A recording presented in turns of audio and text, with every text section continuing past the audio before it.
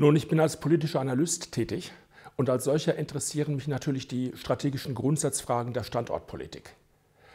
Im Rahmen dieser, Grund dieser Standortpolitik muss man feststellen, dass seit längerer Zeit versucht wird, unser Land, unsere Wirtschaft umzumodeln, zu beeinflussen nach Konzepten, die eigentlich sozialistische Konzepte sind und von der zum Beispiel Friedrich August von Hayek, ein späterer Wirtschaftsnobelpreisträger, schon 1944 in dem Buch Der Weg zur Knechtschaft gewarnt hatte. Das besondere Merkmal dieser neuen Form des Sozialismus ist, dass die eigentliche Grundidee, nämlich die Kontrolle über die Wirtschaft zu gewinnen, jetzt plötzlich verbrämt wird mit der Botschaft, dass dadurch in irgendeiner Art und Weise der Planet gerettet werden könnte und müsste. Und wir erinnern uns, es gab in den letzten Jahrzehnten, zum Teil noch vor ihrer Geburt, wenn ich das so sagen darf, gab es Kampagnen wie beispielsweise die Rettung vor dem Ozonloch, die Rettung vor dem Waldsterben, ähm, die Rettung eben jetzt vor dem Weltklima oder was im Augenblick gerade en vogue ist, die Rettung für irgendeinen Virus. Und jedes Mal ist es so, dass der Bevölkerung gesagt wird, liebe Leute, ihr müsst da und da und da verzichten. Ihr müsst euren Wohlstand aufgeben, damit jetzt wir, die Politiker oder die Medien oder die Wissenschaft oder wer auch immer, jetzt diese Rettung durchführen können. Und das ist das, was mich interessiert. Das Weltklima ist eigentlich für mich irgendwo so ein Teilbereich, den ich eben jetzt mit meinen entsprechenden Fachkollegen bzw. mit entsprechend herangezogenen Wissenschaftlern abdecke. Die da wären? Die da wären für das Thema Klima beispielsweise der leider 2014 verstorbene Professor Gerhard Gerlich aus Braunschweig, sein Co-Autor und guter Freund von mir, Dr. Ralf Tscheuschner, den Sie, wie ich gehört habe, ja auch noch besuchen werden. Es ist der Ingenieur Heinz Thiemer aus Karst. Es ist der leider nach Alaska ausgewanderte Professor Gerhard Kramm, ursprünglich Kölner, dem es hier zu bunt geworden ist, der mit seiner Frau gemeinsam ausgewandert ist nach Fairbanks, dort wo es kalt ist. Und ähm, es sind hier aus München Dr. Ralf Dlugi, der eben Co-Autor ist von dem Professor Kramm. Es ist der Diplomphysiker Michael Zelger, um nur jetzt mal die wesentlichsten zu nennen. Natürlich gibt es mehr, aber das sind eigentlich die, die das Kerndogma, auf das wir nachher noch kommen werden, tatsächlich zerschlagen haben.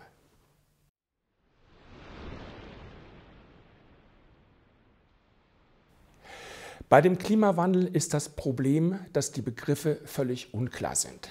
Lassen Sie mich das ganz kurz an einem leicht verständlichen Beispiel erläutern. Äh, viele Menschen in Deutschland sind enorm Fußball interessiert und wenn ein großes Länderspiel ist, dann sitzen Millionen von Menschen vor dem Fernseher. Bei dem Weltmeisterschaftsendspiel gegen Argentinien vor einigen Jahren, da waren es 35 Millionen Menschen, die hier wie gebannt vor dem rechteckigen Apparat gesessen haben.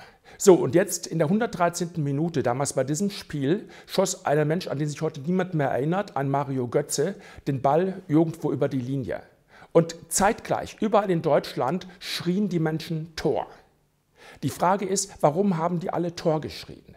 Die haben deshalb Tor geschrien, weil sie eine Situation sahen und jetzt ein Regelwerk im Kopf hatten, aufgrund dessen sie beurteilen konnten, dass hier jetzt etwas Wichtiges, Spielentscheidendes geschehen war. Jetzt komme ich zurück auf Ihre Frage. Wie ist denn das jetzt mit dem Klimawandel? Wenn ich jetzt überprüfen wollte, ob ein Klimawandel stattfindet, dann müsste ich Kriterien haben, an denen ich prüfen kann, und zwar in einem meteorologischen Datenpaket, ob ein Klimawandel stattfindet oder ein Nicht-Klimawandel. Und erstaunlicherweise, und wir sind die Ersten, die 2010 da drauf gekommen sind, ist eine solche exakte, abgrenzungsscharfe Definition gar nicht da. Ich habe 2010 verschiedene Ministerien angeschrieben, sowohl in Berlin, in München, in Wien, und habe darum gebeten, dass man mir mal die Definition schicken möge, mit der man eben einen Klimawandel von einem Nicht-Klimawandel abgrenzt. So, und eine solche Definition gibt es interessanterweise nicht. Das bedeutet, die Aussage, die Behauptung, gerade herrscht Klimawandel, ist überhaupt nicht wissenschaftlich überprüfbar.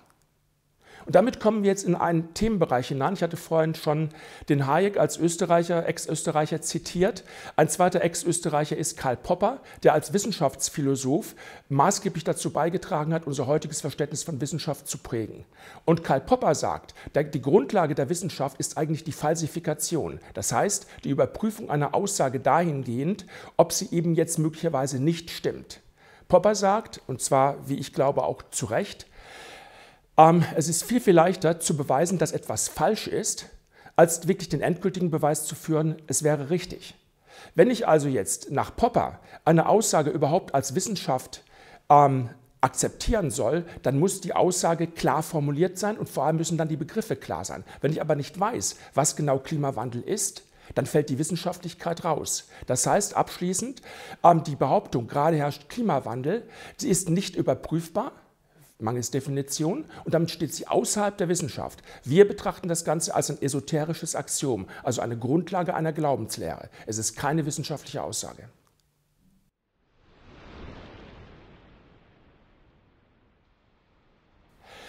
Warum genau davon ausgegangen wird, ist schwierig aufzuklären.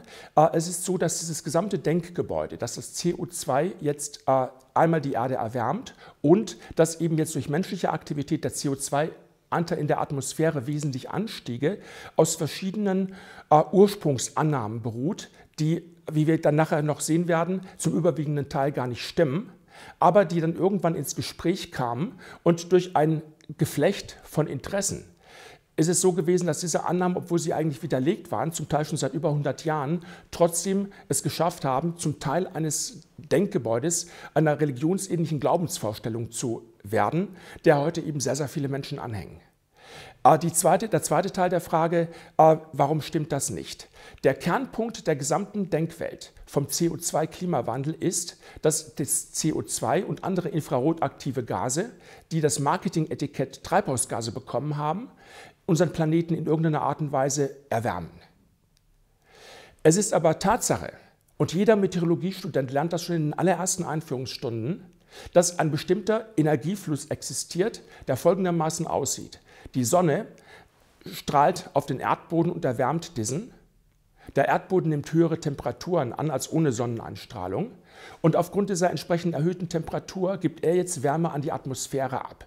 Umgekehrt ausgedrückt heißt das, die Atmosphäre kühlt den Erdboden. Und jetzt fragen wir uns, wenn seit vier Milliarden Jahren, seit die Erde existiert, der Erdboden die Atmosphäre wärmt, warum ist sie dann immer noch kalt? Die einfache Antwort darauf ist folgende. Es ist die Atmosphäre, die jetzt die Energie ständig ins Weltall befördert. Und deshalb kann die Atmosphäre den Erdboden kühlen, weil sie nämlich in der Lage ist, die Energie selbst loszuwerden und abzustrahlen. Und das bedeutet, äh, weil in der Atmosphäre nämlich außer den sogenannten Treibhausgasen gar nichts drin ist, was strahlen kann. Mal abgesehen ist von einem winzigen äh, Anteil, der jetzt noch auf Aerosole geht, also auf Tröpfchen außer Wasser und auf irgendwelche Staubpartikel. Ähm, dass die kühlende Wirkung der Atmosphäre kommt, weil die Treibhausgase sie kühlen. Die Treibhausgase kühlen also die Erde und wenn Sie sie kühlen, können Sie sie nicht gleichzeitig erwärmen. Das bedeutet, gesamte, das gesamte Denkgebäude beruht darauf, dass man die naturwissenschaftlichen Fakten einfach umdreht.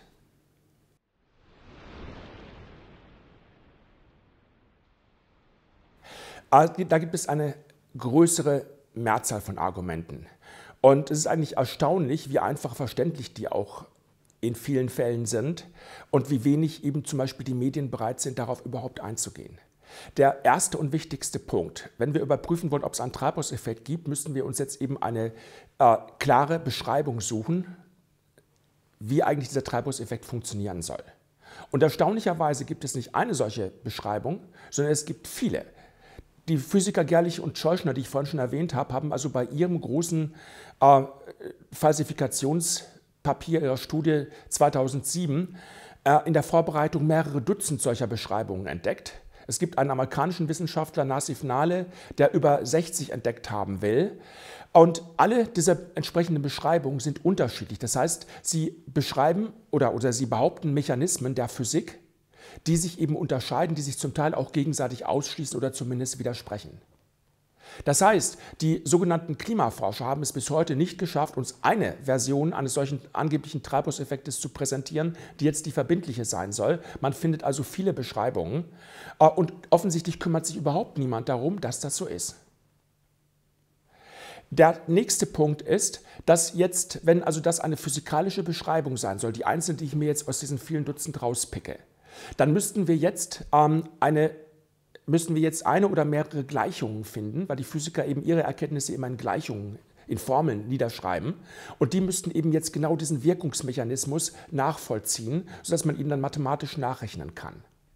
Erstaunlicherweise gibt es aber zu keiner dieser Beschreibungen jetzt einen passenden, einen passenden Satz von Gleichung. Zu keiner.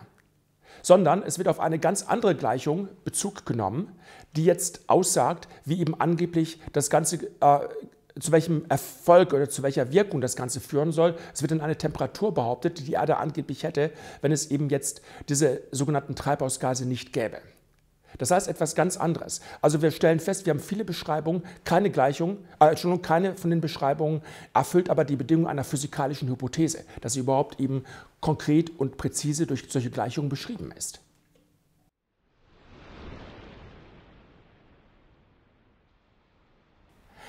Ähm, es ist schwierig, vollkommen richtig, in der Natur Dinge zu messen, festzustellen, wo eben jetzt viele naturwissenschaftliche oder natürliche Prozesse ineinander wirken. Denken wir etwa an alle Prozesse, die das Leben ausmachen. Das ist ungeheuer schwierig, in diesem Bereich eben jetzt äh, einzelne Zellen oder einzelne ähm, Gewebe, Organe oder eben jetzt auch bestimmte chemische Agenzien äh, zu identifizieren, die jetzt irgendwas bewirken. Trotzdem ist unsere Forschung in der Lage, hier ständig und gewaltige Fortschritte zu machen, was sich ja etwa in den gewaltigen Fortschritten der modernen Medizin zeigt. Ähm, was jetzt diesen angeblichen Treibhauseffekt angeht, so müsste man diesen Treibhauseffekt, weil er so enorm große Auswirkungen haben soll, wie das immer behauptet wird, um 33 Grad soll die Erde wärmer sein, weil eben dort infrarotaktive Gase in der Atmosphäre sind, dann müsste man das im Labor irgendwie zeigen können. Und es gibt keinen Laborbeweis, wo wirklich ein Treibhauseffekt bewiesen wird. Es gibt auch keine Messung, keine Beobachtung in der Natur, die tatsächlich beweisen würde, oder zumindest, um im Popperschen Sinne zu bleiben, äh, zumindest eben in einer Form, die nicht sofort falsifiziert werden kann, aufzuzeigen, dass eben jetzt eine solche Wirkung überhaupt existiert. Dazu ein ähm, ja, interessanter Vergleich. Es gibt in einer Form eine Messung tatsächlich. Wir können gucken, welche Höchsttemperaturen wir eigentlich auf der Erde haben. Und diese Höchsttemperaturen, die finden wir in der Sahara und dort sind also in der Spitze Temperaturen von 83 Grad ungefähr gemessen worden. So, und jetzt haben wir aber einen Begleithimmelskörper, der eben jetzt den gleichen Abstand zur Sonne aufweist wie die Erde und der aber keine Atmosphäre hat, wo also keine Treibhausgase da wären, die jetzt eben den ähm, Planeten zusätzlich aufwärmen oder diesen Himmelskörper zusätzlich aufwärmen könnten. Und das ist unser Erdmond. Der Erdmond ist nur 370.000 Kilometer von der Erde entfernt. Das ist etwas, was vor der letzten Viruskrise ein Lufthansa-Pilot, der im Amerika-Einsatz war, in wenigen Wochen abgeflogen hat. Das heißt, das Ganze, der Mond ist eigentlich uns relativ nah, hat aber eben die Atmosphäre nicht. So, wir müssten also jetzt nach dem Dogma auf dem Mond Temperaturen haben, weil ja dort keine Treibhausheizung stattfindet, die also wesentlich niedriger sein müssten auf der Erde. Wenn Sie also 83 Grad als Höchsttemperatur des Mondes leben, dann wäre die Höchsttemperatur Entschuldigung, die 83 Grad als Höchsttemperatur der Erde, da müsste die Höchsttemperatur auf dem Mond irgendwo bei 50 Grad sein, nämlich die 83 Grad minus die 33 Grad, die angeblich sich die Erde erwärmt. Das ist zwar nur eine ganz grobe Daumenrechnung, aber um mal in, in die Denküberlegungen einzusteigen, reicht es. So, die Höchsttemperaturen auf dem Mond liegen aber nicht bei 50 Grad, sondern sie liegen bei 137. Das heißt, sie liegen nicht etwa niedriger als bei uns, sie liegen viel, viel höher. Und das belegt das, was ich eingangs gesagt habe. Wir haben eben die Atmosphäre, die bei uns die Oberfläche kühlt. Deshalb wird es in der Sahara nicht viel heißer. Oder nicht heißer als die 83 Grad, was schon heiß genug ist. Auf dem Mond ist die Kühlwirkung der Atmosphäre nicht da, weil die Treibhausgase nicht da sind, die sie kühlen könnten.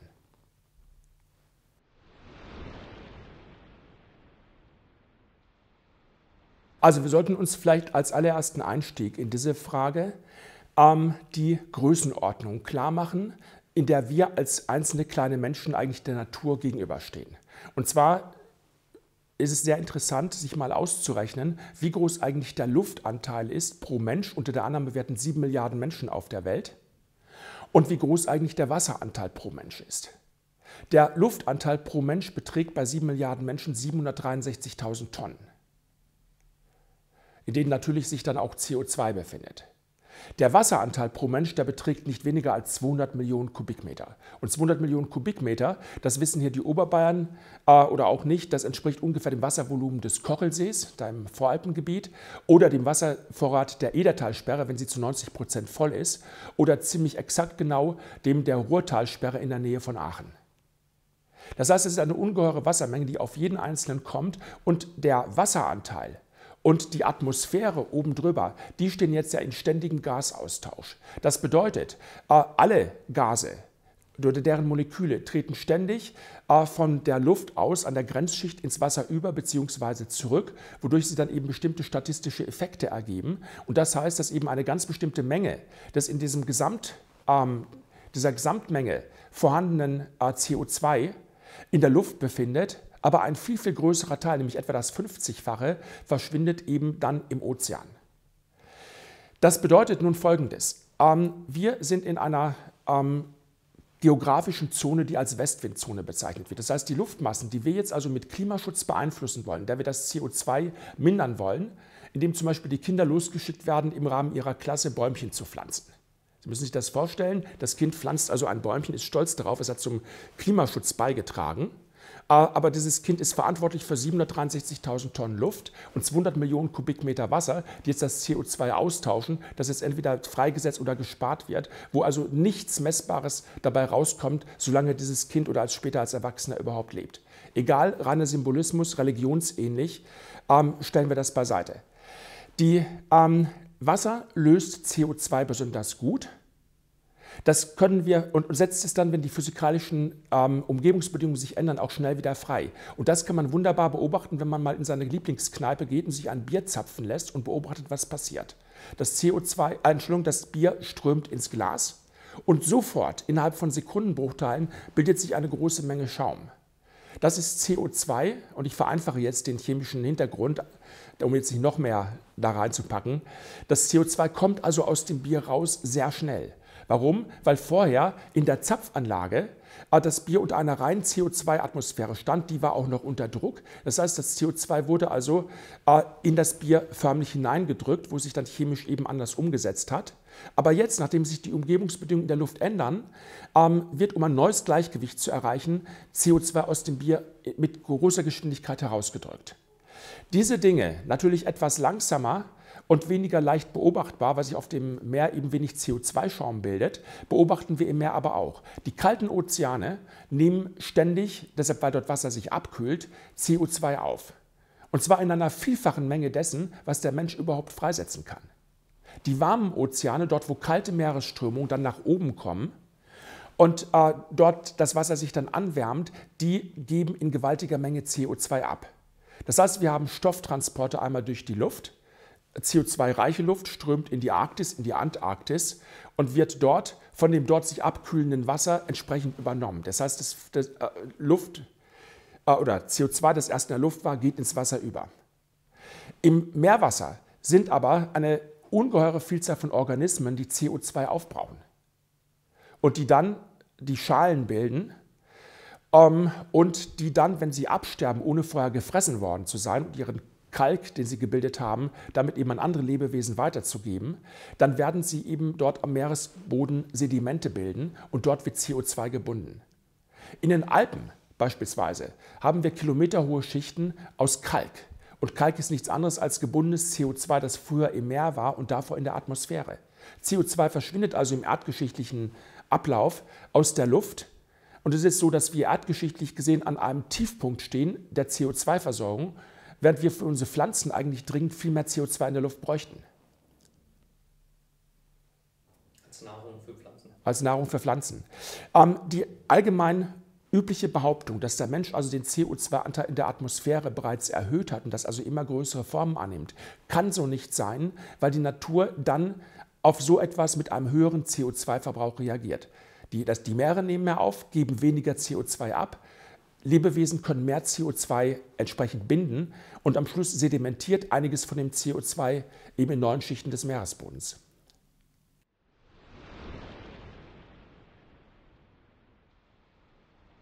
Würde das Meer wärmer, würde es nicht mehr so viel CO2 aufnehmen und es würde es abgeben.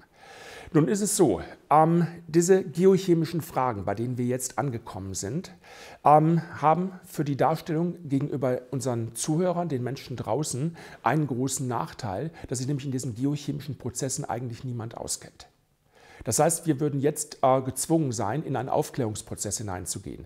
In meinem Unternehmen befassen wir uns nicht nur mit diesen Klima- und Energiefragen, die Sie ja gesehen haben. Wir haben auch lange daran gearbeitet, mal über ein komplett neues Gymnasium nachzudenken. Wir haben uns gefragt, was machen die am Gymnasium eigentlich?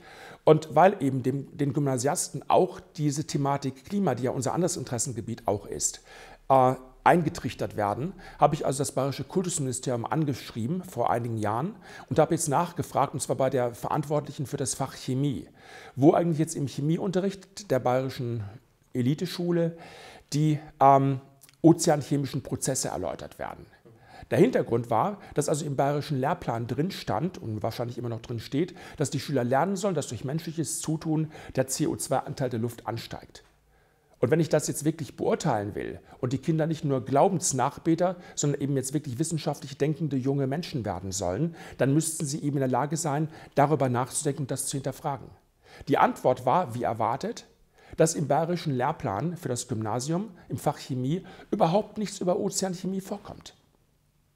Das heißt, es wird also die Aussage, der Mensch verändert den CO2-Gehalt der Luft, äh, als Glaubenssatz vermittelt ohne dass die eigentlich wichtige ähm, Kernwissenschaft darunter, eben die Ozeanchemie, auch nur mit einem Wort behandelt wird.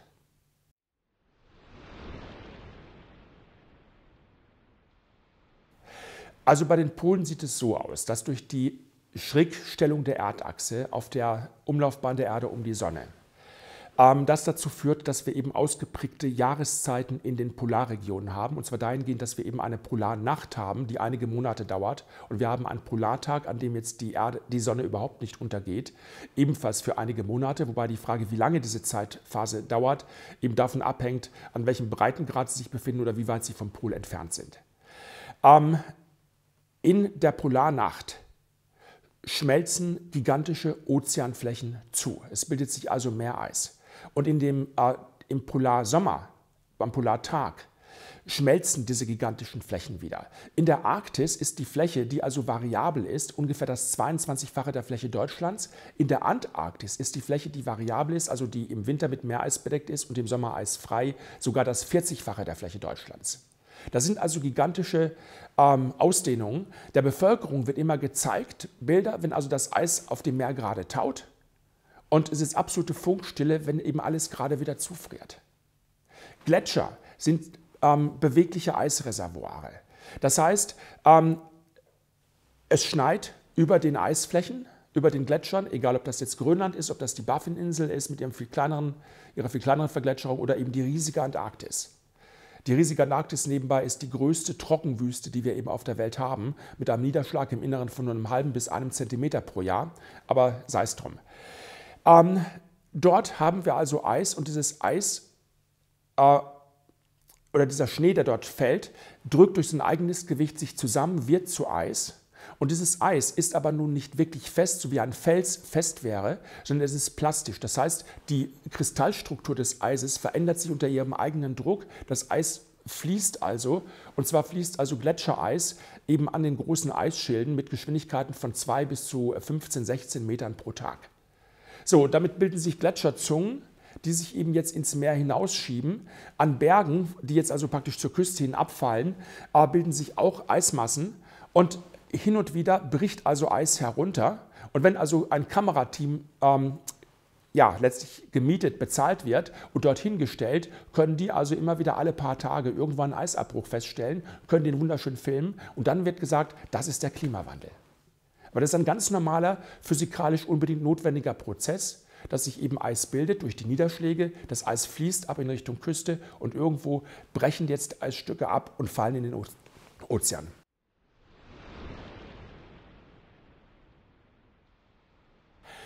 Das ist eine sehr gute Frage. Ähm, zunächst mal ist klar, wenn die Menge an Energie, die jetzt den Ozean erreicht, größer wird, dann werden die Temperaturen der Ozeane irgendwann ansteigen.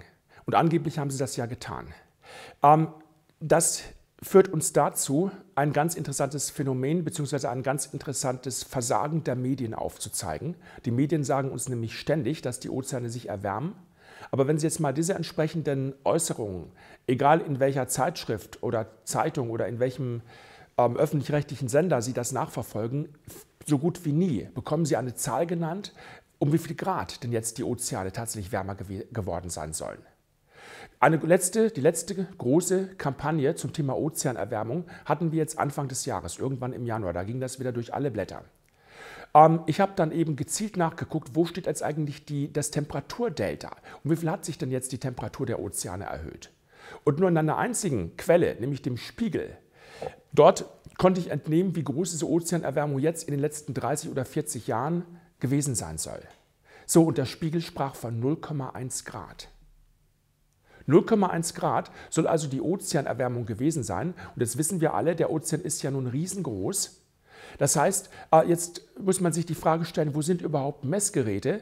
Und zwar in verschiedenen Höhenstufen auch noch, mit denen ich dann anschließend Werte hätte, um eine Aussage zu treffen über das gesamte Weltmeer und die, die gesamte, äh, das gesamte Temperaturfeld, also die vielen, vielen Einzelwerte, die man sich vorstellen muss, oder eben über einen irgendwie gearteten Durchschnitt. Es sind solche Daten, die jetzt eine tatsächlich ernsthafte Meereserwärmung darlegen würden, offensichtlich nicht vorhanden. 0,1 Grad ist fast nichts und eine solche Aussage ähm, letztlich aufgrund des Fehlerrauschens, mit dem wir rechnen müssen, gerade wenn wir wenige Messpunkte haben, die Messmethoden verändert wurden in den Jahrzehnten durch den technologischen Fortschritt, sind diese Aussagen gar nicht machbar.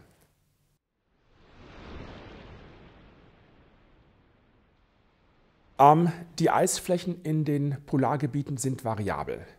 Ähm, man muss wissen, dass sie von verschiedenen Faktoren abhängen. Temperaturen vor Ort sind das eine. Es geht aber auch darum, wie sind eigentlich die Meeresströmungen. Ertragen sie in einem Jahr besonders viel warmes Wasser aus den, aus den gemäßigten Breiten jetzt in die Polarregionen ein. Dann wird dort also möglicherweise ein Eisrückgang da sein. Ähm, verlagert sich das Ganze. Wir haben in Südpolargebiet ja die Situation, dass dort eben ein Kontinent da ist als Basis des noch größeren antarktischen Eisschildes. Aber während wir im äh, Nordpolarmeer äh, Inseln haben, aber ansonsten eben riesige Ozeanflächen, wo eben jetzt diese Eisflächen auch irgendwo verschiebbar sind.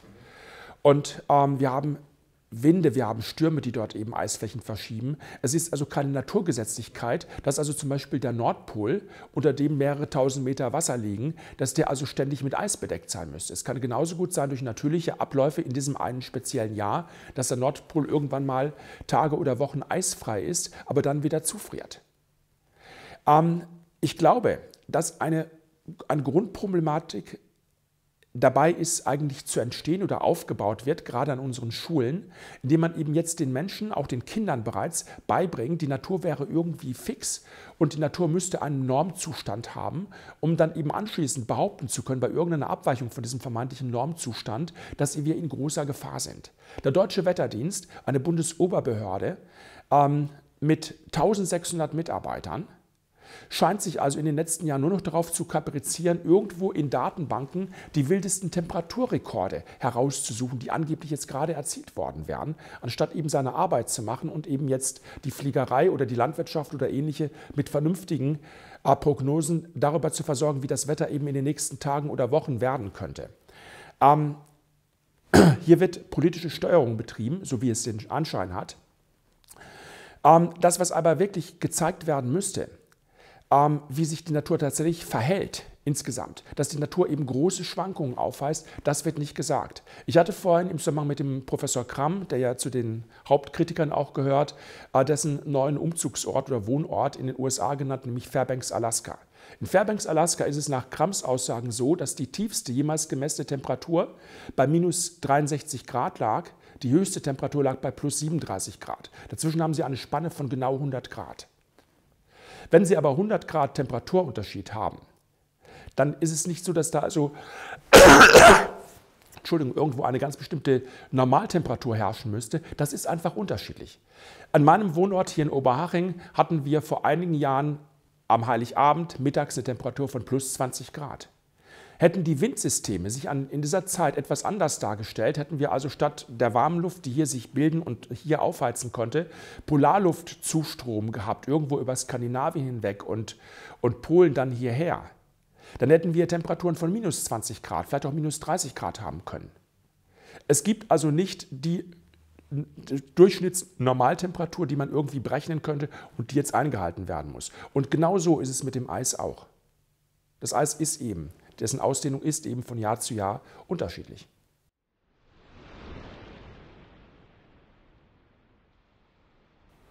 Wenn Sie wollen, ja.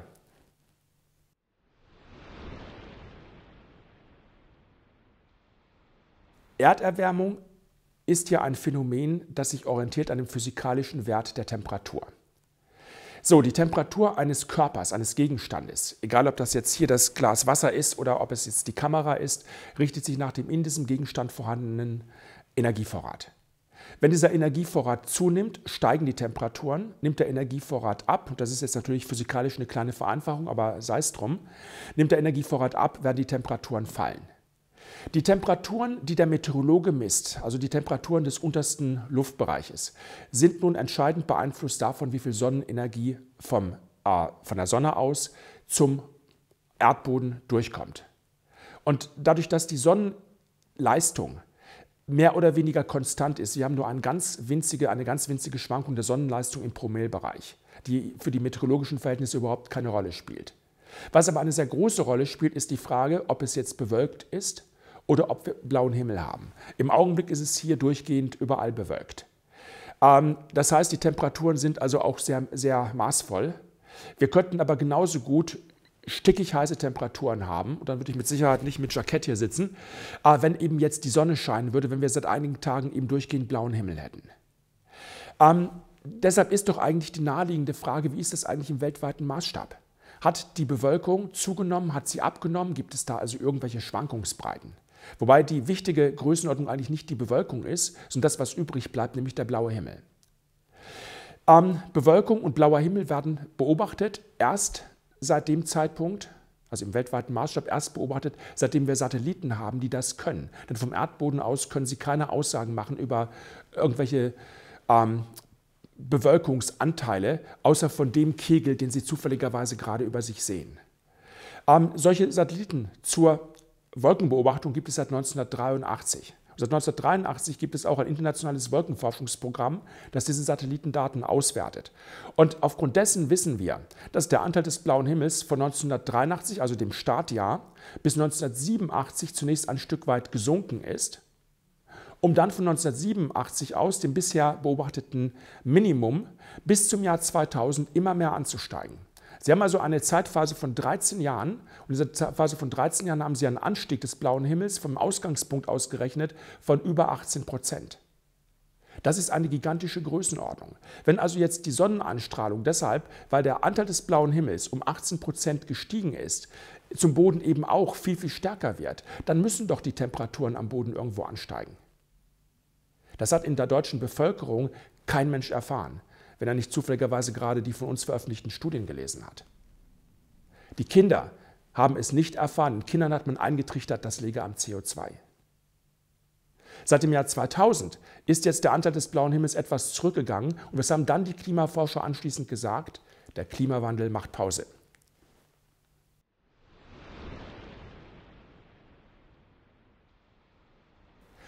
Was die kurzfristigen Trends angeht, also die sich jetzt in dem vom Menschen in seiner Lebensspanne überschaubaren Zeiträumen abspielt, also innerhalb von Jahrzehnten, sind es tatsächlich die Wolken, die jetzt hier den wesentlichen ähm, Anteil haben. Wenn es jetzt um erdgeschichtliche Zeiträume ginge, dann gäbe es andere Einflussfaktoren, die auch noch einen kleinen Einfluss hätten, äh, nämlich zum Beispiel die Bahneigenschaften der Erde, die in den sogenannten Milankovitch-Zyklen beschrieben sind. Aber wie gesagt, die Milankovic-Zyklen spielen für das, was wir im Augenblick politisch diskutieren, absolut überhaupt keine Rolle. Da geht es nach dem, was ich überblicken kann, wirklich nur um Bewölkung oder Nichtbewölkung.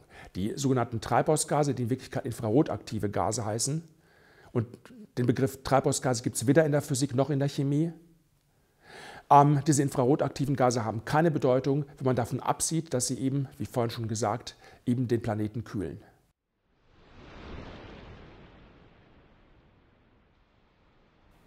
Nun, die Tatsache, dass die Bewölkung lokal, dort wo sie aufzieht, ähm, die Temperaturen kühler werden lässt, ist ja unsere tägliche Lebenserfahrung. Die Beobachtung, dass im weltweiten Maßstab die Bewölkung sich verändert, das ist eben jetzt das Ergebnis der Forschungsarbeit äh, von verschiedenen Weltraumbehörden, darunter insbesondere eben auch der NASA und diesem internationalen Forschungsgremium ISCCP, das steht für Internationales Satellitengestütztes Wolkenforschungsprogramm. Ähm, die das eben seit ungefähr 1983 eben dann beobachtet und ausgewertet haben. Mit dem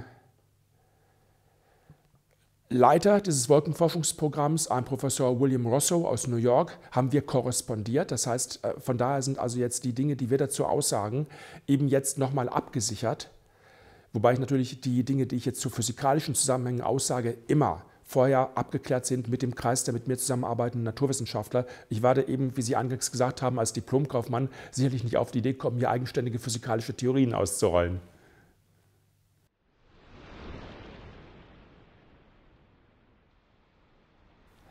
Da stecken jetzt viele Fragen drin in der einen. Und ich will jetzt versuchen, einen Teil davon zu, äh, zu beantworten.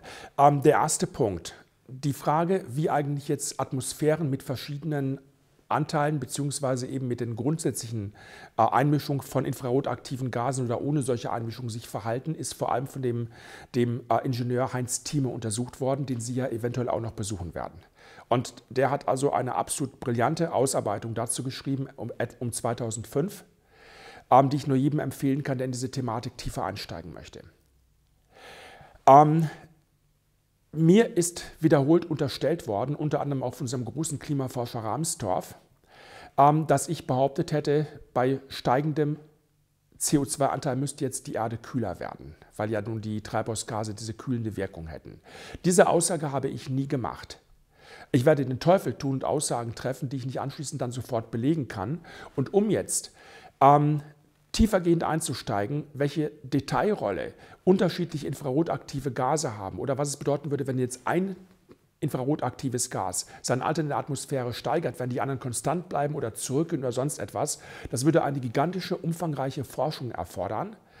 Ähm, vor dem Hintergrund, dass ja hier strömungsdynamische Prozesse in der Atmosphäre laufen, stattfinden. Das heißt, sich die Konzentrationen, die Luftmassen, die Verteilung von Temperaturen, die Verteilung von Energie ständig ändert.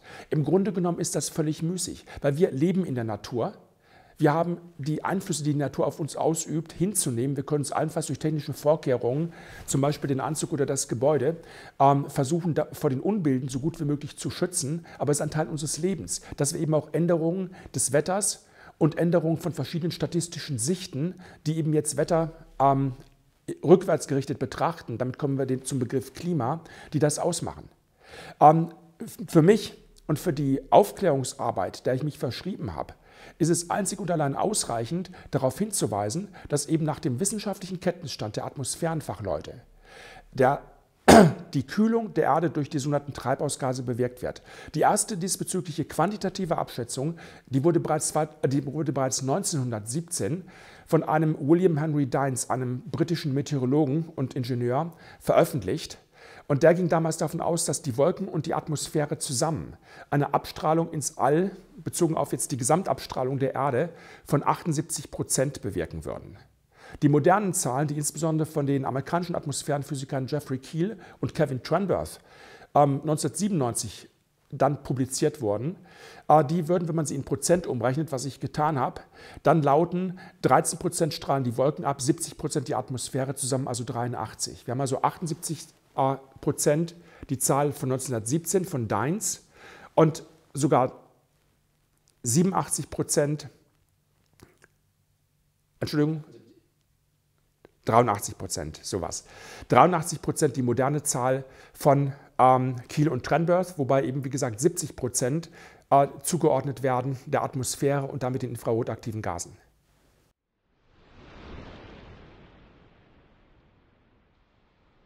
Die Herren Klimaforscher haben die Angewohnheit, immer dann, wenn sie unter Druck geraten, weil wieder irgendetwas Ernstes aufgeflogen ist, sich zerknirscht in Selbstkritik zu üben und dann ähm, selbstkritische Anmerkungen aber nur zu Dingen zu machen, die völlig nebensächlich und belanglos sind. Es geht um die Grundfundamente. Ich bin im Augenblick dabei, eine neue Studie vorzubereiten, äh, mit Unterstützung auch von dem schon mehrfach erwähnten Dr. Ralf Zeuschner. Und wir werden also dort unter anderem uns mit der Frage beschäftigen, was eigentlich Pseudowissenschaft ist. Und wir definieren dort für Pseudowissenschaft drei wesentliche Kriterien. Das erste, Pseudowissenschaft arbeitet oder liegt dann vor, wenn mit längst falsifizierten Hypothesen weitergearbeitet wird, sie also nicht ausgesondert werden aus dem Denk- und äh, Analyseprozess, sondern eben stur an ihnen festgehalten wird. Das zweite Kriterium ist, dass untaugliche Methoden benutzt werden, obwohl eben die Untauglichkeit offenkundig ist. Das dritte Kriterium ist, dass Pseudowissenschaften versuchen, ihre Kritiker aus dem Diskurs auszuschließen. Und zwar nicht auszuschließen durch bessere Argumente, sondern auszuschließen durch Machenschaften aller Art, die man eben als unfair, unsauber oder möglicherweise auch kriminell bezeichnen würde. Alle drei dieser Kriterien sind bezogen auf die sogenannte Klimaforschung, soweit sie eben jetzt diese CO2-zentrierte Klimaforschung ist, sind erfüllt. Das bedeutet, dass eben jetzt das, was zum Beispiel bei dem Potsdam Institut für Klimafolgenforschung, wo diese beiden von Ihnen genannten Herren Rahmsdorf und Schellnuber angesiedelt sind bzw. waren, Schellnuber ist ja mittlerweile pensioniert, ähm, dass das eben nicht als Wissenschaft bezeichnet werden kann, sondern wir es eben für Pseudowissenschaft halten, was dort gemacht wird. Das mögen die Herren nicht. Vor allem mögen sie es nicht, weil sie ein Budget haben, das ihnen erlaubt, 300 Leute zu beschäftigen. Ähm, ich bin der Auffassung, dass dieses Budget falsch angelegt ist und der deutsche Staat gut daran täte, dieses Geld für komplett anderes auszugeben, beziehungsweise, was noch besser wäre, es den Bürgern zurückzugeben. Also wir reden von dieser sogenannten Klimawissenschaft eher von einer Pseudowissenschaft. Wir halten das Ganze für Pseudowissenschaft. Sie müssen sehen, es sind ja Hunderttausende von sogenannten Klimafolgen alleine ähm, beschrieben worden. Da wurden Abermilliarden ausgegeben, um eben diese entsprechenden Narrative herzustellen. Äh, es wurden zum Teil Umfragen gemacht von der Bundesregierung, von der EU-Kommission, von anderen, äh, bei denen jetzt, mit denen jetzt in der Bevölkerung nachgeprüft wurde, mit welchen alarmistischen Begriffen sie am ehesten zu erschrecken und aufzuscheuchen sind. Es wurde beispielsweise jahrelang immer wieder danach gefragt, ob die Leute sich jetzt mehr ängstigen vor Klimawandel oder vor Erderwärmung. Man hat festgestellt, es gibt also Staaten in Europa, äh, wo also jetzt die Bürger verschreckter reagieren, wenn Erderwärmung gesagt wird, und es gibt andere, wo sie verschreckter reagieren auf das Wort Klimawandel. Entsprechend die, werden die politischen Aussagen dem angepasst.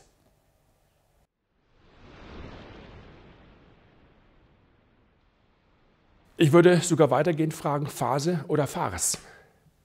Im letzten Jahr hat der DVD eine ganz große Nachricht herausgebracht, etwa in der Zeit, die Sie genannt haben, und zwar mit einem neuen Hitzerekord in Geilenkirchen. Jetzt kennt außer ein paar Fachleuten Geilenkirchen eigentlich kein Mensch. Geilenkirchen ist ein NATO-Fliegerhorst, früher von der britischen Rheinarmee genutzt, ähm, beziehungsweise der, der britischen Luftwaffe, äh, direkt an der holländischen Grenze in Nordrhein-Westfalen. Und dort wurde also dann im letzten Jahr eine Temperatur festgestellt von knapp über 40 Grad. Jetzt muss man Folgendes wissen, Geilenkirchen ist überhaupt keine Station des DVD, sondern nur deshalb, weil eben dort ein Fliegerhorst ist und eben die, die ähm, für die Luftsicherheit Zuständigen äh, eben meteorologische Aussagen brauchen, dass dort eben jetzt Wetterbeobachtung betrieben wird. Ähm, der DVD hat dann behauptet, dass also dieser Temperaturrekord einen vorherigen Temperaturrekord der einige Jahre älter war, in den Schatten stellt, der in Kitzingen gemessen wurde, im Franken. Nun muss man Folgendes wissen. Die Temperaturen in der Atmosphäre, die nehmen ab, je weiter man nach oben geht. Man muss also bei einer Temperatur immer wissen, in welcher Höhe ist sie eigentlich gemessen worden. Ähm, die Wetterstation in Geilenkirchen hat nun nach der entsprechenden Übersicht, die, der DVD, die man beim DVD abrufen kann, eine Höhe von 80 Meter über Grund. Die Station in Kitzing, die tatsächlich eine DVD-Station ist, hat eine Höhe von 193 Meter über Grund. Das heißt, dazwischen liegen 113 Meter. 113 Meter bei trockener, warmer Luft bedeutet aber, dass sie einen Temperaturunterschied haben von ungefähr einem Grad. Da der letzte Temperaturrekord, der in Kitzing gemessen war, aber nur 0,3 Grad, glaube ich, ähm, niedriger lag als dieser neue angebliche Temperaturrekord in Geilenkirchen, bedeutet das, dass man eben jetzt dieses eine Grad Temperaturunterschied nur durch die unterschiedliche Höhe hier dagegen rechnet, dass in Wirklichkeit die Geilenkirchener Temperatur um mehr als ein halbes Grad ähm, schlechter oder niedriger gewesen ist als der vorherige Temperaturrekord. Das heißt, es werden hier vom DVD, der ja viele Meteorologen beschäftigt, die das genau wissen müssen. Das ist für die dann tägliches Handwerkszeug, die, die, die Abhängigkeit der Temperaturen von der Höhe zu kennen. Dass hier die Bevölkerung im Grunde genommen plump belogen wird.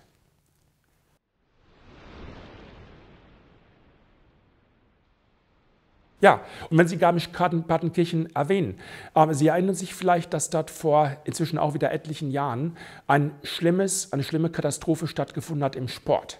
Da hatte nämlich irgendein Veranstalter ähm, jetzt Extremsportler eingeladen, ähm, einen Lauf durchzuführen ähm, mit Klettereinlage, wo also jetzt die Leute unten auf Bodenniveau starten und dann die Zugspitze hochklettern sollten.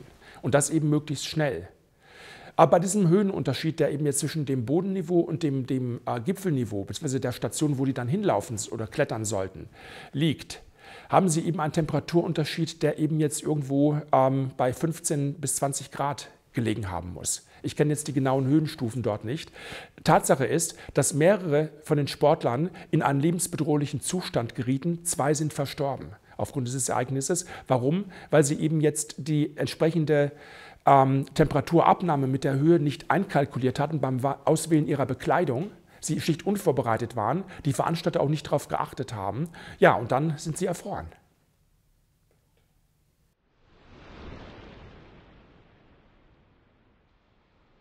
Gewisse Temperaturschwankungen sind ja normal. Und zwar deshalb, weil wir eben ja auch Schwankungen haben in der Energiezuführung zum Boden, Stichwort blauer Himmel. Das ist die eine Seite. Die andere Seite ist die, wenn Sie jetzt mal in den Alpen, und die Alpen, wir haben weltweit 200.000 Gletscher, davon haben wir 5.000 Gletscher in den Alpen, wir haben in der Schweiz 2.000 und in Deutschland haben wir 5. So, wenn wir also auf unsere fünf Gletscher schauen, dann ist es so, dass diese Gletscher sich eben in den letzten Jahrzehnten etwas zurückgezogen haben, ja. Und was kommt zum Vorschein? Nicht nur bei diesen Gletschern, sondern allen in den Alpen, wenn sie sich zurückziehen, Baumstümpfe aus der Römerzeit. Da auf Eis bekanntermaßen keine Bäume wachsen, sondern eben nur auf einem unbedeckten Boden, heißt das, dass in der Römerzeit dort, wo jetzt zuletzt Gletscher noch gelegen hatten, eben überhaupt keine Gletscher existiert haben. Das heißt, damals war es wärmer und die Baumstümpfe sind ein Beweis dafür, dass wir im Grunde genommen nichts anderes haben als ein Normalgeschehen. Ja gut, es wird in manchen Jahrhunderten vielleicht etwas wärmer, in manchen etwas weniger. Das mag in Teilen der Landwirtschaft bereits Auswirkungen haben, aber für das Wohlergehen der Gesamtbevölkerung ist das eigentlich belanglos. Wir stellen uns darauf ein. Wir haben es in der Hand, ob wir zwei Pullover übereinander tragen oder nur einen. Es ist ein interessanter Aspekt noch, den man, was die Gletscher in den Alpen erwähnen sollte. Ähm, wie gesagt, es gibt 200.000 Gletscher weltweit, es gibt 5.000 in den Alpen. Es wurde also bereits im Jahr 2003 von einem britischen, sehr anerkannten Gletscherwissenschaftler namens Roger Braithwaite eine Übersichtsstudie veröffentlicht, in der er eben jetzt andere Studien ausgewertet hatte, die sich eben mit dem Rückgang oder mit dem Anwachsen von Gletschern beschäftigt haben.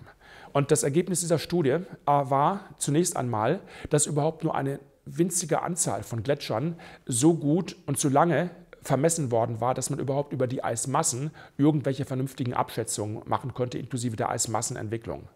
Meistens werden ja dann Fotos gezeigt, die eben jetzt äh, alt sind. Die zeigen, der Gletscher hat früher weiter nach unten gereicht und ist jetzt eben nicht mehr ganz so weit nach unten reichend. Äh, wie gesagt, durchaus sind hier entsprechende lokale Änderungen, die jetzt hier beobachtet werden können. Es kommt ein spezieller Punkt bei den Alpengletschern dazu. Ähm, wenn das Eis chemisch analysiert wird, stellen wir also oder stellen die entsprechenden Labors äh, bei jeder dieser Messungen fest, dass also jetzt diese Alpengletscher einen relativ hohen Rußanteil enthalten. Das kommt zu einem großen Teil, so wird gesagt, von den Skiliften und ähm, bedeutet, dass eben durch diese schwarzen Partikel, die sich eben jetzt auf dem Eis befinden, äh, dieses Eis eben auch sichtbares Licht aufnehmen, absorbieren und in Wärme umsetzen kann. Aber man muss wissen, Eis ist für das menschliche Auge, das ja nur im sichtbaren Licht sicht Licht sieht, absolut weiß. Es wird also nahezu alles reflektiert. Im infraroten Bereich ist Eis aber absolut schwarz. Das heißt, sämtliche Infrarotstrahlung wird aufgenommen. Aber es wird eben dann, wenn jetzt die, ähm, ja, das Eis Rußanteile enthält, eben sehr viel auch von dem sichtbaren Licht aufgenommen und entsprechend umgewandelt. Das heißt, hier schmilzt tatsächlich etwas schneller ab, nur hat das eben nichts zu tun mit CO2. Aber man könnte von einem menschengemachten von einer menschengemachten oder menschenbefeuerten Erwärmung sprechen, dadurch, dass ja. man sagt, diese Skilifte, dieser Ruß, der diese Welt hier genauso rumschwirrt wie sonst wo, ähm, das Eis dunkler macht in dem Sinne, schwärzer und somit äh, der, der Erde Wärme hinzufügen kann durch die Sonnenstrahlen, die aufgenommen werden. Ich hatte ja eingangs schon gesagt, es kommt also ganz stark darauf ab, äh, darauf an, dass wir die Begriffe richtig definieren, dass wir eben wirklich ein gemeinsames Verständnis haben, was diese Begriffe bedeuten sollen. Klima ist eine statistische Sicht auf Wetterdaten der Vergangenheit. So, Wetter ist etwas, der Zustand der Atmosphäre an einem Ort zu einem Zeitpunkt. Und wenn ich jetzt eben ein paar Wetterdaten habe, die zum Beispiel diesen Ort hier äh, zum Zeitpunkt vor fünf Jahren beleuchten, dann kann ich aufgrund der Wetterdaten mir sehr genau vorstellen, was eben jetzt hier stattgefunden hat. Ob es gehagelt hat, ob ein Tornado war oder ob die Sonne geschienen hat. Ähm, ich kann Wetterdaten, aber nicht geografisch mitteln. Das macht überhaupt keinen Sinn. Wenn ich jetzt beispielsweise zwischen Berlin und Boston oder Berlin und Beijing irgendwelche Mittelwerte der Temperaturen bilden will, weil mit einem Mittelwert der Temperatur zwischen Boston und, und Berlin könnte ich nicht mehr rekonstruieren, welcher Zustand an jedem dieser beiden Orte tatsächlich früher gewesen ist. Wenn ich jetzt ähm, den Klimabegriff als ein örtliches Klima betrachten will, dann würde es wieder einen gewissen Sinn geben, zu sagen, ich mittle jetzt eben entsprechende Wetterdaten der Vergangenheit, zumindest eben jetzt für einen Ort oder für ein kleines Regionalgebiet. Äh, beispielsweise eben hier um Oberhaching oder eben jetzt dort, wo irgendwo ein Gletscher liegt. Dann kann ich natürlich sagen, es ist dort aus irgendwelchen Gründen wärmer geworden. Es ist in Geilenkirchen wärmer geworden, weil man einen Flugplatz gebaut hat mit großen Asphaltflächen. Und es ist also in ähm, was weiß ich, im Umfeld von Paris wärmer geworden, weil eben jetzt die Stadt in die Außenbezirke reingewuchert ist und dort, wo früher eben grüne Felder und, und Wälder gewesen sind, eben jetzt Steinbauten stehen. Die Franzosen lieben ihren Beton. Anderes Thema. Gut, ähm, das heißt, der Mensch kann lokal tatsächlich eben das lokale Klima beeinflussen. Er tut das, indem er Städte baut. Er tut das, indem er Sümpfe trockenlegt. Denken Sie an Nordisrael, Galiläa, wo eben jetzt die jüdischen Zuwanderer das eben ähm, in den 19 ja, frühen 1900er Jahren dann eben massiv betrieben haben. Äh, der Mensch verändert das lokale Klima, indem er Bewässerungssysteme schafft und die Feuchtigkeit, die verdunsten kann, äh, bei einem vorher knochentrockenen und heißen Boden eben entsprechend erhöht. Das heißt, hier sind Einwirkungsmöglichkeiten lokaler Art da, die aber eben betrieben werden, weil der Mensch genau das wünscht. Nur, und damit eben das Kernthema zurückzuholen, wegen dem Sie ja diese Dokumentation überhaupt gemacht haben. Das CO2 hat auf all das überhaupt keine Auswirkungen.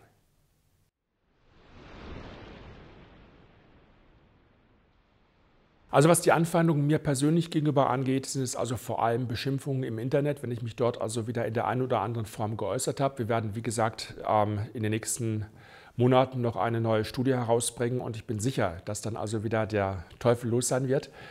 Ähm, was subtiler und weniger leicht zu erkennen ist, ist, dass ein Klima der Angst gelegt worden ist über die gesamte Bevölkerung, über die Leute, die sich normalerweise jetzt mit politischen oder mit wirtschaftlichen Themen zu Wort melden würden und denen man jetzt also über viele Jahre hinweg bereits beigebracht hat, dass es also höchst unanständig ist, gegen den offiziellen Klimakurs, dem also von den Menschen gemachten CO2-Klimawandel, den man bekämpfen kann und muss, indem man die Industrie abwirkt, dagegen anzugehen. Vor allem gilt das also jetzt beispielsweise auch für die Industrieverbände.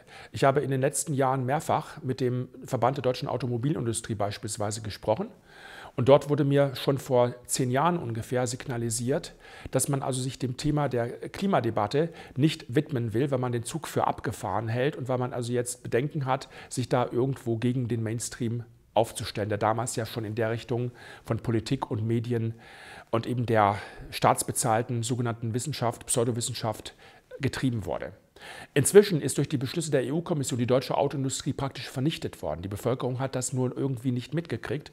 Ähm, es ist alleine im Bundestag die AfD gewesen, die sich dort massiv dagegen gestellt hat. Alle anderen Parteien haben die EU-Beschlüsse entsprechend durchgewunken, die bedeuten, dass eben jetzt Fahrzeuge, die eben jetzt mit Verbrennungsmotoren arbeiten, aufgrund von nochmal heruntergeschraubten CO2-Abgasnormen, gerechtfertigt durch die Rettung des Weltklimas, äh, dass die gar nicht mehr produziert werden können. Das heißt, alles, was die Autoindustrie in Deutschland aufgebaut hatte über viele Jahrzehnte mit Hunderten von Milliarden an Werbe, an Marketingmitteln, eben das Image der besten Autohersteller der Welt zu schaffen, überall in der Welt, ähm, die Produktionsanlagen, die Zulieferer, all das wird zerstört, mutwillig, weil man also jetzt von ideologischer Seite her sich in den Kopf gesetzt hat, irgendwelche andere Mobilität zu haben und im Übrigen der Masse der Bevölkerung gar keine Mobilität mehr zubelegen will, die sollen gefälligst Bus und Bahn fahren, wenn dann eben irgendwo Busse und Bahnen verkehren. Fliegen sollen die Leute auch nicht mehr, weil es eben schädlich ist. Nur ganz bestimmte Leute, die Klimaprominenz gewissermaßen darstellen, dürfen natürlich fliegen. So, was heißt das? Wir haben einen gigantischen Schaden aber die Leute, die sich gegen diesen Schaden wehren müssten, also vor allem Unternehmer, Vorstände von großen Aktiengesellschaften, von Daimler, von VW und ähnlichem, werden im Grunde genommen mundtot gemacht. Ähm, jetzt bettelt die Autoindustrie Unternehmen im Augenblick darum, dass der Staat Subventionen zahlen soll in Form von Abwrackprämien. Man hat sich also einem Gesamtsystem, einer komplett verblödeten Idee, nämlich dass jetzt also die CO2 Emissionen der Fahrzeuge unterdrückt werden sollen. Da hat man sich unterworfen und bettelt jetzt darum, irgendwo ein paar Krümel zu bekommen, um eben diese einst mächtigen und für viele Millionen Deutscher ähm, ja letztlich existenzwichtiger ähm, beruflicher Tätigkeit, die eben jetzt dann irgendwie wenigstens teilweise am Leben halten zu können, durch Abwrackprämien für absolut intakte Autos, so wie ich sie zum Beispiel fahre und Sie ja auch. So, das ist im Grunde genommen schändlich. Es ist etwas, was für mich als Unternehmer, der ich ja eigentlich jetzt in diesem Bereich beratend äh, tätig werden möchte und tue, natürlich eine entsprechende Behinderung darstellt. Hätte ich damals aus irgendwelchen Gründen mich entschieden, ähm, die, den charakterlosen Weg zu wählen und eben jetzt für Klimawandel ähm, und für Klimaschutz aufzutreten und zum Beispiel den 11.300 Kommunen, die wir haben, zu helfen, Klimaschutzkonzepte zu erdichten, mit denen sie CO2 sparen wollen, was übrigens vom Bundesumweltministerium dann auch subventioniert wird, dann hätte ich mit Sicherheit dort viel Geld verdienen können.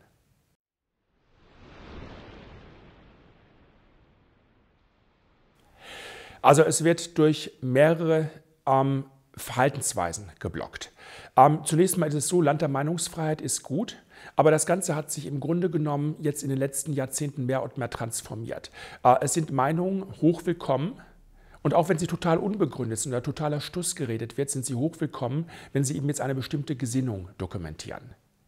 Wenn Sie aber eine kritische Meinung bringen und die sogar wissenschaftlich präzise begründen, Quellen nennen, äh, Beobachtungen oder Experimente ähm, zeigen, die eben jetzt diese Mainstream-Meinungen und Behauptungen und, und Ideologien ähm, angreifen, dann wird sofort ein Reflex ausgelöst, dass das also jetzt verboten, dass es schädlich, dass es unsauber, dass es gesellschaftlich irgendwie ähm, ungewollt ist. Es wird, werden also beispielsweise Begriffe eingeführt, wie etwa der des Klimaleugners. Neuerdings gibt es also auch den Virusleugner, das geht in die gleiche Richtung. So ähnlich wie es den Holocaustleugner gibt, ein Begriff, der vorher eingeprägt worden oder geprägt worden ist, der ganz klar negativ belegt worden ist, und zwar aus Gründen, die jetzt vom moralischen her absolut nachvollziehbar sind. Nur dass jemand eine wissenschaftliche Meinung nicht mehr nennen soll, weil er sonst eben dann ein Leugner wäre, so wie ein Holocaustleugner, ähm, das ist absolut unakzeptabel nach meiner Meinung. Oder es wird, das ist eine weitere Killerphrase, die äußerst beliebt ist, es wird derjenige, der jetzt eben aufzeigt, dass eben jetzt dieser, dieser äh, diese Ideologie vom Klimawandel dazu führt, dass einige Leute prächtig verdienen und dass eben jetzt hier offenbar ideologische Konzepte verfolgt werden, äh, der wird als Verschwörungstheoretiker bezeichnet.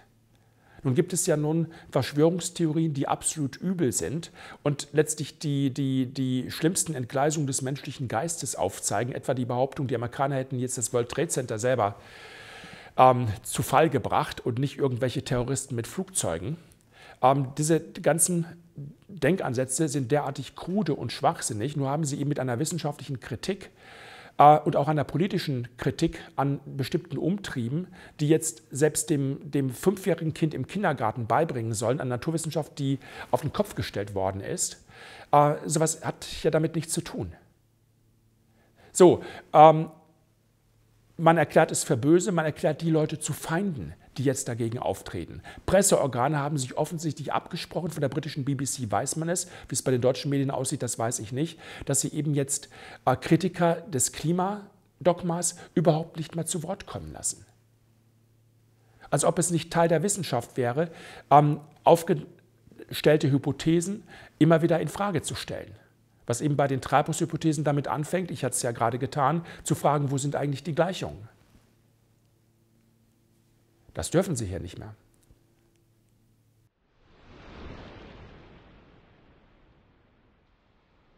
Also ich glaube, das Erste, was erreicht werden muss, ist, dass wir uns bewusst werden über den Verlust der Meinungsfreiheit. Also damit knüpfe ich genau an dem an, was Sie zuletzt gefragt hatten vorher. Ähm, der Tatsache, dass eben jetzt das Äußern von kritischen Meinungen zunehmend als böse dargestellt wird und ein moralischer Maßstab aufgebaut wird, dass also jetzt jeder, der was Falsches sagt, das Schmuddelkind ist, mit dem nicht gespielt werden darf. Das muss weg. Wir müssen wieder dazu kommen, zu den Werten der Aufklärung, dazu, dass danach gefragt werden darf, ähm, was ist, und danach gefragt werden darf, ob das, was gesagt wird, eben wirklich überhaupt richtig ist. Es ist vollkommen egal, ob etwas jetzt von großen Wissenschaftlern oder, oder riesigen staatsfinanzierten Instituten mit Hunderten oder Tausenden oder Zehntausenden von Mitarbeitern, von ganzen Brigaden oder Divisionen von Klimaforschern gesagt wird, oder ob es wie bei Andersens Märchen des Kaisers Neue Kleider das Kind es ist, das eben jetzt eine Frage stellt. In der Wissenschaft zählt nur das Argument. Und Argumente sind vorhanden. Die Medien, die Politiker haben sich jetzt jahrelang geweigert, sie zur Kenntnis zu nehmen.